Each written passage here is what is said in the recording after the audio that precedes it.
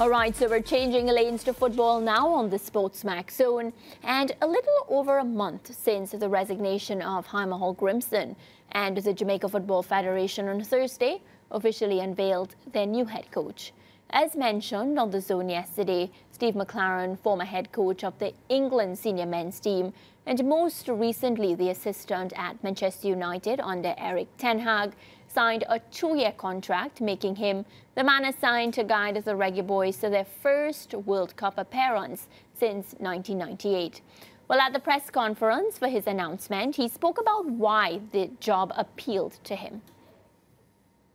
I always knew that this country has unbelievable potential and talent because I was technical uh, expert for FIFA for two years working on the ecosystem, which really analysed every country in the world, and we analysed 210 countries.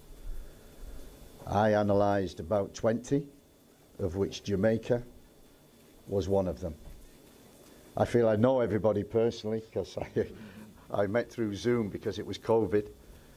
So um, after doing the analysis and the report, three years ago, Jamaica has always been in the back of my mind because it was the one country in which the potential and the talent is here. And there is such a lot to do. He also touched on what it would take for the team to make it to the World Cup. Take the baton and to carry that on. And uh, I spoke with Heimir a couple of weeks ago and he said to me, I just wanted to leave the shirt in a better place. And I think that's exactly what I want to do. Leave the shirt in a better place. Jamaican football in a better place. Hopefully. And the vision is 2026. Is development of coaches, is development of the talent that is on this island, that is on this island, and everything else that goes with it. It's not about resources, it's about people, it's about behaviours, and it's about standards. And they're the three main things that we'll be targeting. We might not have the greatest resources, but it's the people, commitment, standards, and behaviour that will make the difference. And that's what we are all here to work towards. Such an interesting appointment there, McClaren.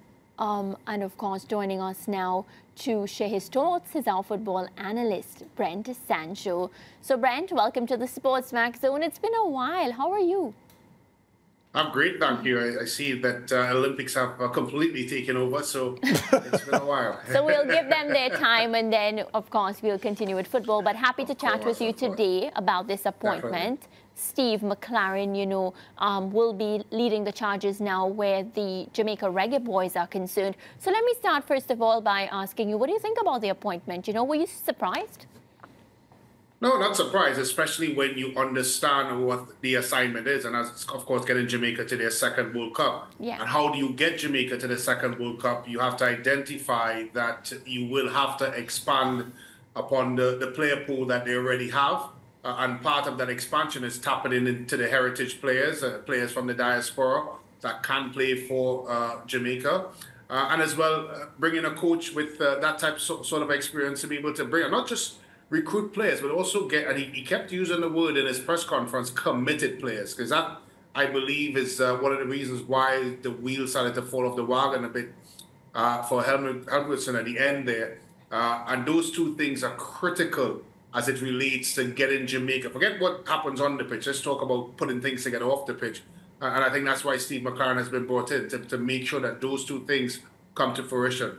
Yeah, one of the things is he was very clear and open about speaking about the fact that he thinks Jamaica has a lot of potential, a lot of talent. And I think what's um, rubbed me the right way is the fact that, you know, he's the new boss coming into the uh, Jamaica setup and he has already had conversations with the former coach. I think that's very big and it's a big deal, Brent, because you're picking up a new role. You want to speak uh, to the man, of course, from where he left off. And I, I realized in that press, press conference, he spoke not once, not twice, a lot of times about, you know, the work that Heimir Hallgrimsson had done with this team and the fact that he too wants to leave Jamaica, that shirt, in a better place.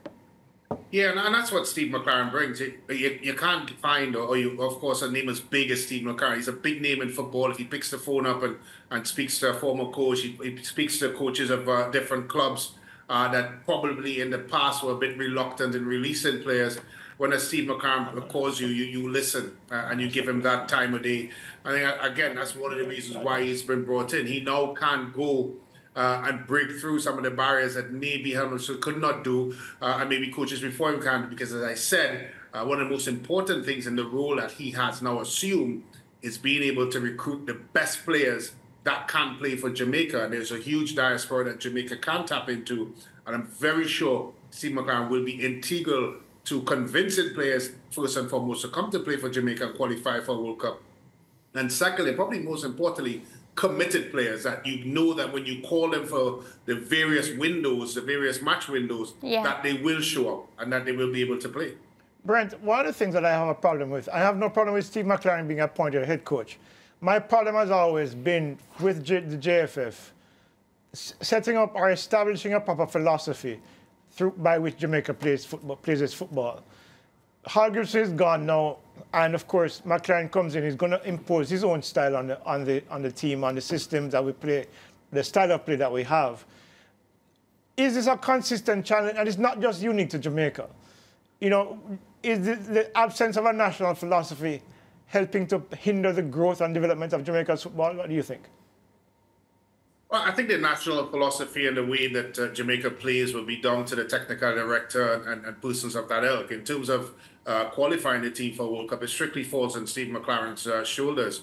Uh, he would be tasked with making sure that whoever he recruits plays to his style and how he wants to play, how he wants to attack games. But I understand what you're saying, because in the past we've had uh, situations where the JFF have been comfortable in uh, the way things have been handled. Uh, and we've seen that from time and time. We've heard it from players, of course. Uh, uh, one of the most uh, infamous ones is the, the Leon Bailey saga that has continued on and on. Uh, so yes, there is that aspect of it, and, and, I think you're hitting the nail on the head because that relationship between Steve McClaren and the JFF is critical for this to succeed. I did yes mention that the recruitment of players is very important, but as important is how these players that are recruited are treated. Are they going to be treated in the professional manner that they expect? Of course, no player is going to expect leaving an Aston Villa or West Ham or whatever club like that and expect to see similar type of situation in Jamaica. There may be yeah. a little bit of a dip of standards, but not the type of dips that have been mentioned from players in the past.